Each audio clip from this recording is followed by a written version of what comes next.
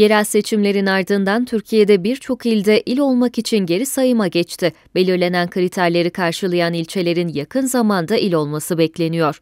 Nüfusun en az 100 bin olması, il merkezine 30 kilometre mesafede bulunması, mevcut şehirleşme durumu, ulaşım altyapısı, ekonomik çeşitlilik ve eğitim durumu gibi 8 temel kriter ilçelerin il olabilmesi için gerekli şartlar arasında.